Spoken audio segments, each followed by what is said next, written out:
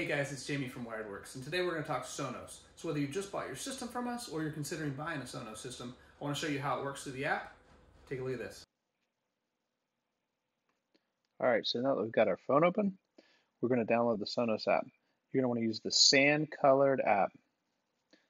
So as we open it up, I'm connected to my system here at the house. So one of the things you want to look at is the buttons down here at the bottom. This is going to be your favorites. Uh, you can add different stuff. Obviously, you can see I have stuff for my children here. This is going to be the music button. This is where all of your streaming services are going to live. This next one is kind of a digital house. So as we touch that, this is going to give you all the rooms. So in my house, you can see I've got bathroom, I've got a couple speakers in the family room, my kids' room, and I've got rock speakers outside. Now the search button, when you click that, is going to be a way for you to search all of the music streaming services that you have in here. And then you've got a settings button, of course, over here. And this is where your account information, your system, uh, all your music and streaming information lives in there. So the button that you're going to use the most is going to be the basically the house button. So the house button takes you into your system. So as you can see, when I highlight each room, it changes colors. So you know I'm in that room. So for instance, let's say I want to go, this is a master bathroom speaker. It's going to say it was on Pandora and there's no music that was playing. So I'm going to go to music and pick some new music. So let's go to, let's just go to Pandora for fun. We'll go into My Stations. And you can see all of the music that we listened to in the last date. So let's click some Kane Brown. Now once I click that, you'll notice right here in the shadow box, it's going to show you what's on. So if I touch that, it's going to open right up. Now from here, I can turn the volume down. I can pause the music. I can even skip songs. And if I hit the home button, it's going to show me what's playing in the bathroom. It's also going to show me what's playing in the family room. So currently, somebody's in the family room playing music. So you can see I've got the Pandora logo here, playing stick figure. And see the little bars right here? We've got some music bars. These bars are showing me that something's playing. Now if I click in here and hit play, you'll start to see the timer up here. Now when I go back, you're going to see I have music bars on this side, as well as the music bars in the family room. And you can do this for each individual zone. So if I want to play some music outside, I'll click that and I'll go to music. I'm going to go one more time to go home. And let's say I want to do Spotify this time. So let's pick, sure, Tropical Beats, play. And you'll see it starting to play.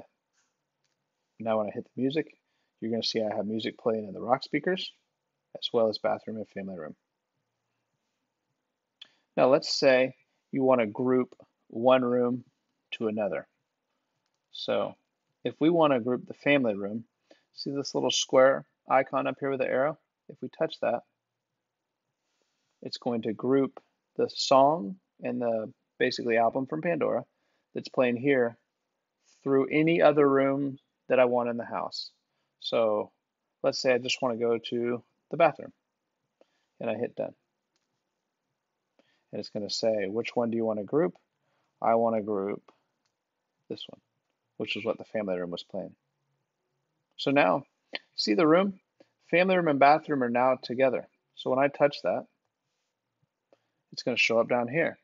And when I touch that, I've got volumes. When I touch, I've got family room, bathroom, and a group volume. So I can raise it like this, raise it like this. I can just swipe down or hit the rooms to go back.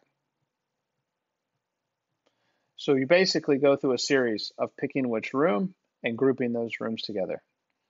Now, if you have a song, for instance, this song that's playing, Sunshine by Powers. See these three little dots right here? If I click it, it's going to pop up and say, add station to my Sonos. If I click that, I'm going to show you the hipster barbecue radio is added. So your favorites lie right here on the far left. So if I hit this star, you're going to see albums, and here's Pandora stations. So that was Hipster Barbecue Radio. It even shows the date last playing, which is today. Um, I have other playlists um, that my kids like and child likes. Now, search button. Let's say I want to listen to uh, Kenny Chesney.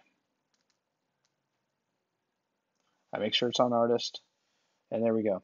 So it's going to search every single um, streaming station that I have here, meaning I have Amazon, I have Apple, Pandora, Spotify, YouTube. So anything with Kenny Chesney, I can go through and pick. So I could pick this through Amazon, and it will give me a list of the top songs, or I can dive into Kenny's actual albums. And as soon as I do that, you'll see the whole album there. So I could just hit play. There you go. You're going to see the family room and bathroom change to Kenny Chesney. And when I touch that, all the album art pops up.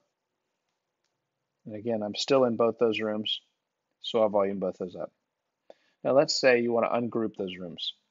Well, if you hit the home button, the same button that we pushed the first time, this little square with the arrow, we're going to touch it.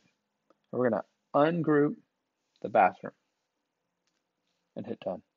Now, as soon as I do that, you're going to see these two rooms break out, bathroom and family room separately.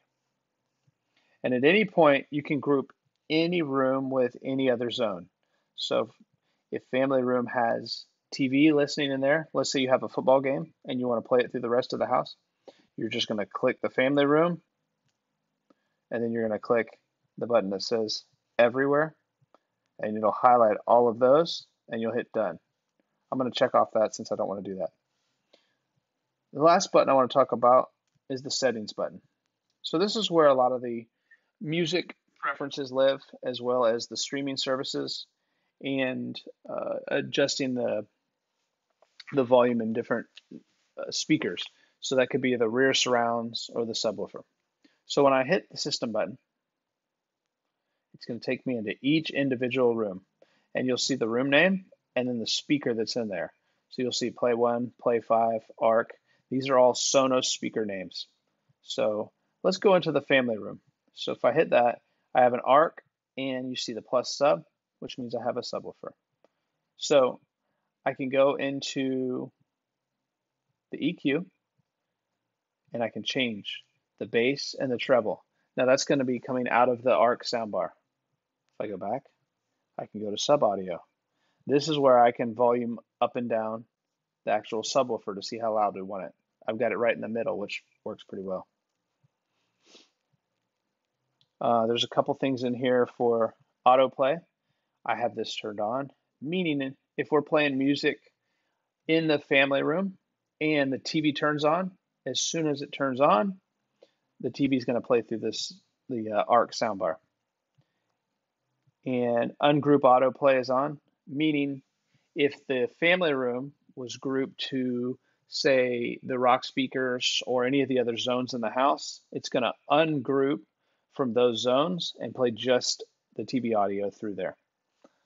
The rest of these are more during setup. So if you want to use the infrared or IR repeater, we can go in there and do that. Then we have a few other things. Uh, if we want to set up Amazon Alexa, uh, you can also change the voice assistant. So you can switch to Google if you want to do that. I'm going to keep Amazon in this room. Um, a couple other things. The soundbar and most of the speakers have touch controls, so you can turn those on or off. And there's a status light. Uh, we can also turn that on and off. And that's for each room. So this would be done kind of everything with the family room. Then we click off of that. We could go into individual speakers. So say my kids' room, I've got an EQ for that room as well. So I can adjust bass and treble. And then I've also got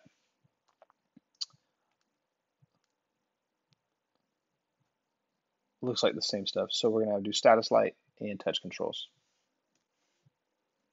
So this is a quick tutorial of the Sonos app. It's pretty intuitive. Just remember, for the most part, you're just picking rooms, music. That's it. And if you touch the music again, it goes back home. But you know, one thing I forgot to tell you, if you hit the settings, you can also go in to um, services. This is where you would actually add music and content. So say you want another one of these streams in here, we're going to click add service. Sonos has over 100 streams of service. So you can scroll through anything that they have.